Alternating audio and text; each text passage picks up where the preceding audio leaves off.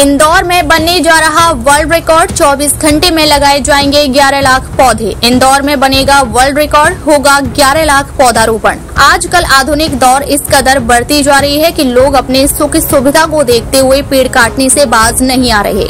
जबकि हर किसी को पता है कि पेड़ पौधे हमारे लिए कितना ज़रूरी है। फिर भी आए दिन लोग पेड़ काटते ही रहते हैं। इसी बीच इंदौर में 14 जुलाई को वर्ल्ड रिकॉर्ड बनने जा रहा है।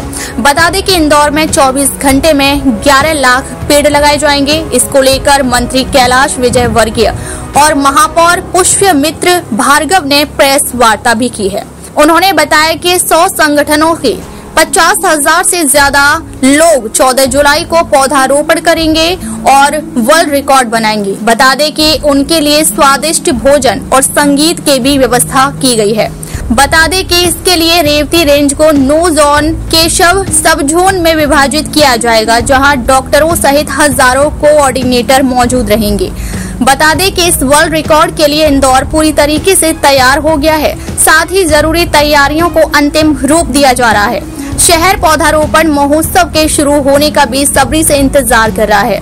इस संबंध में गुरुवार को नगरीय विकास मंत्री कैलाश विजय वर्गीय और महापौर पुष्य मित्र भार्गव ने मीडिया से चर्चा करते हुए कहा कि यह विश्व का जन भागीदारी का सबसे बड़ा कार्यक्रम है और भारत का सबसे बड़ा पौधारोपण आयोजन होने वाला है।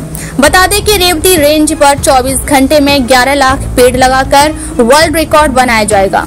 इससे पहले यह रिकॉर्ड असम के नाम था, जहाँ पर 9 लाख पच्चीस हज़ार पेड़ लगाए गए थे। वृक्षारोपण के इस महाअभियान में 100 संगठनों के पचास हज़ार से ज़्यादा लोग हिस्सा लेंगे और प्रत्येक समाज के आराध्य देव और प्रत्येक संस्था के आदर्श के नाम पर वनों का नाम किया जाएगा। इस अवसर पर डॉक्टरों की टीम, समन्वयक पार्षद, युवा मोर्चा बीएसएफ सेना, प्रशिक्षण स्कूलों के स्वयं सेवकों की टीम एनएसएस और एनसीसी के कैंडिडेट्स, कॉलेज छात्र, धार्मिक, सांस्कृतिक और गैर सरकारी संगठन के लोग तैनात रहेंगे, जो व्यवस्था संभालने के साथ व्यवस्थित तरीके से पौधारोपण में मदद करेंगे।